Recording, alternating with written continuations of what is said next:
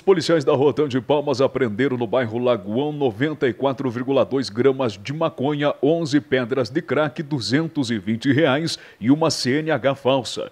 Segundo informações, os policiais realizavam um patrulhamento pela Avenida Paraná quando avistaram um veículo Mercedes classe A em atitude suspeita. O condutor, ao avistar a viatura policial, empreendeu fuga em alta velocidade, sendo acompanhado pela viatura. Nas proximidades do bairro Eldorado, o condutor tentou esconder o veículo dentro de uma oficina mecânica, mas foi encontrado. Os policiais abordaram duas pessoas e, em revista pessoal, foram localizadas duas pedras de crack com um deles. Após isso, durante revista no local, foram localizadas mais oito pedras de crack em um cômodo da oficina. As duas pessoas e o carro foram encaminhados à sede da segunda companhia e, com a ajuda do cão farejador do canil, foi encontrado escondido no carro a maconha.